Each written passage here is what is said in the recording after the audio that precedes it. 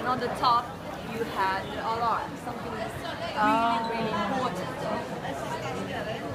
This pillar was also the punishment pillar because in the past this was uh, where uh, the market was, market called Luža, but of course uh, you always have these merchants that are trying to trick someone.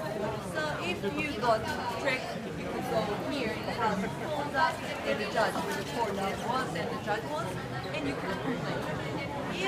were right, in the center of the main square, and the punishment was cutting off hand.